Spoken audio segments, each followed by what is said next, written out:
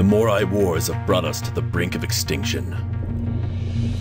We, the crew of the Skylark, fled to the stars seeking a source of incredible power, our last hope to save our homeworld. What we discovered was beyond imagination. We discovered Cradle.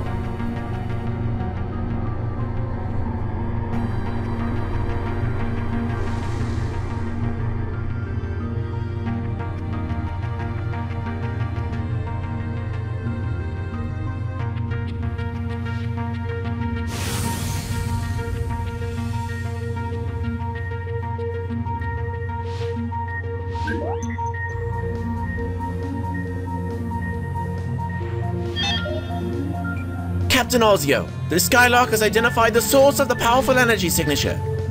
At last! Begin preparations for descent. We must harness this power. Captain, energy signatures are shifting.